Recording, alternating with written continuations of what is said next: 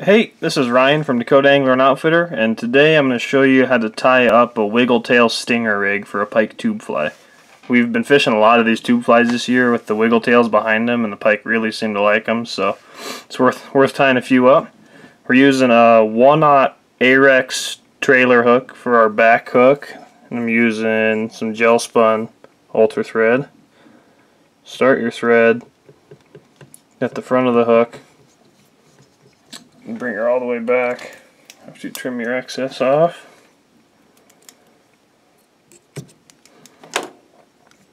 Right, so bring your thread all the way to the back and it's pretty important to use gel spun for all of this too because the the pike's teeth are so sharp and even if you tie it with gel spun it's just going to wear out after so many fish but this makes the, the whole rig last longer. So with these wiggle tails like in my other video there's a snap for the tail, and then this one is a snap for the hook. It's a little longer and has a little longer tie-in point. So you want to have it so it's just off the back of the hook like this. And then start tying it in, trying to keep it pretty pretty upright on top of the hook. And then go all the way up under here. I go back and forth a couple times just so there's a little more thread on it.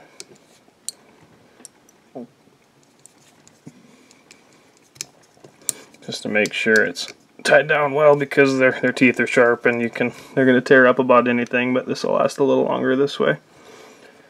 Alright so you can bring your thread up to the front and then whip finish.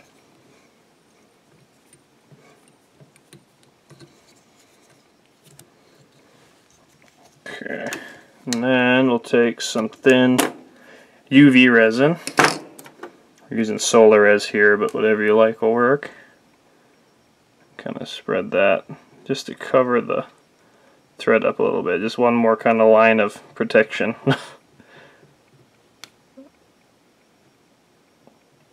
Alright, like that. Use your UV light, cure it.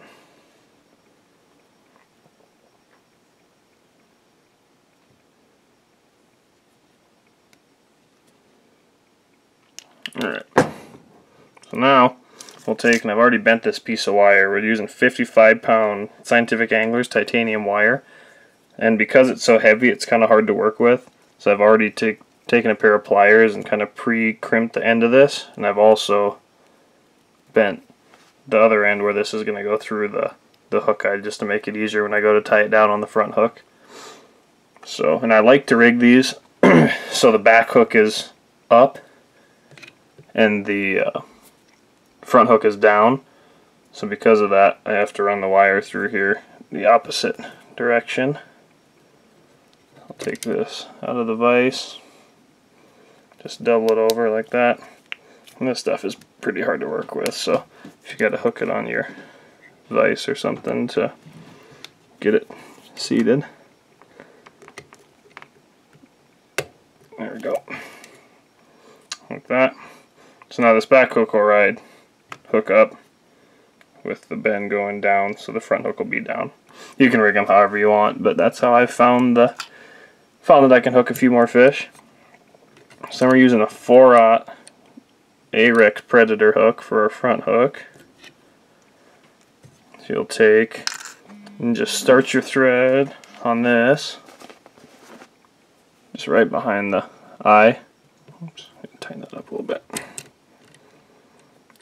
And what I found to be most important is just make sure the whole hook is pretty covered in thread. It gives the the wire a little, bit, little better place to to sit on, and it's important to bring it through the eye too because you have a lot less a lot less of a chance for a fish to pull it pull that if they're hooked on the back hook to pull it off of the front hook that way.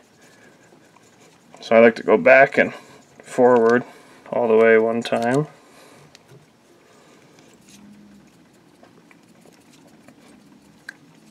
And pliers are helpful in this too because that wire is so thick and hard to work with that you can, so you'll just run it through the eye down to where I've already kind of pre, pre-bent it.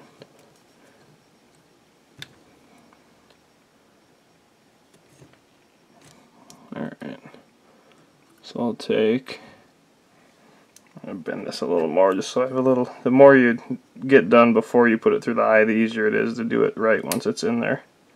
But be careful not to bend it too much because you can, you can break it. Put this through there. And tie down the, the piece that's going back to the trailer hook, making sure that it's upright like this. I like to go back a ways about a third of the way probably, and then go forward back to where you tied that in. And there's a couple ways you can do this, but you have to make sure to get this bent back enough that you can get your, your heavy line through the eye. So what I do a lot of the times, I'll take a pair of pliers, clamp it to it, and pull back oops, as I tie it down. Is the easiest, I think.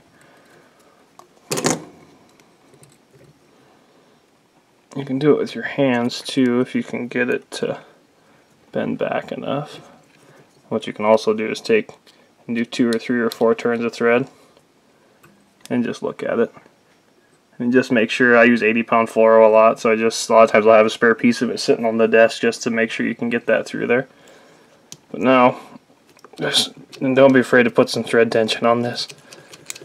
Just, just cover all of this in thread when you go over the, the edges of this right here where it's tied down, kind of use a lighter thread tension because those are really sharp ends. So if you just go over them a few times lightly, and then you can put the tension to it.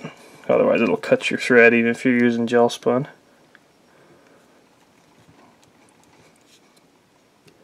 And you can vary the length of this wire too depending how long your how long your fly is too. I like it mean the this hook will be in the back of my tube and I want my materials to end kind of right where the wiggle tail starts just so the wiggle tail doesn't foul up on anything else.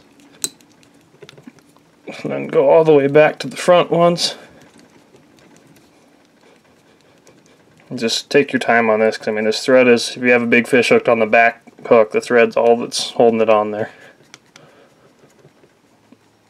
Alright, something like that should be good and you can take and whip finish.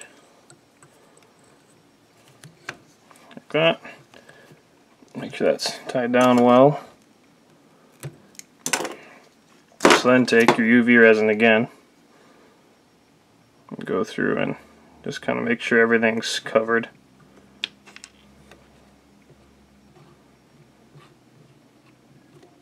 Okay, make sure makes your rig last a lot longer. If you just do it with the thread, I mean, one fish can tear it up to the point where it's not really safe to use it anymore in case you hook a big fish.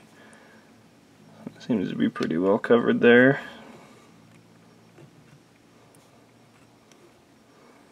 Like that, and it'll sag a little bit now, probably. I just like to just kind of spin it and work with it until you like how it looks, and it seems to be pretty even. And hit the whole thing.